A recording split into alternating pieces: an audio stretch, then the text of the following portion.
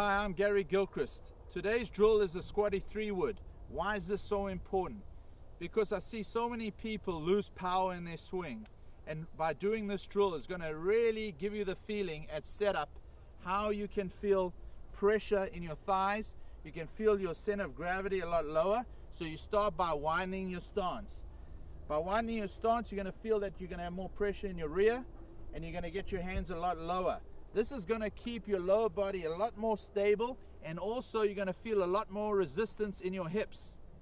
Once there's resistance in your hips, it's going to allow your body to start feeling a wind up. So you can really see that my knees stay wide apart. Now on the downswing, I'm going to feel the same thing. So I'm going to feel the club shallow and now it's going to help build my impact position. So you can see it impact, still wide knees, weighting to my left side, and then I finish nice short through. So this is going to create a lot more power and solid strike on the ball. So this is for all handicap players. As soon as you start losing contact, solid contact on the club, start doing this drill.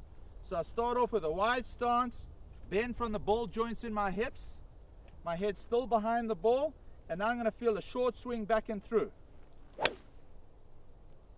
straight away you're going to start feeling that power. When I finish, you're going to feel the, see the weight going into my left knee.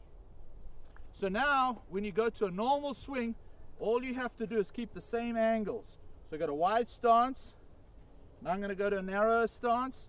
You're going to see I got to get a little taller in my setup and now feel the same swing. So there you go.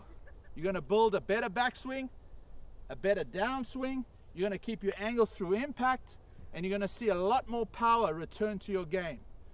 So go and practice this drill and you're going to see a difference.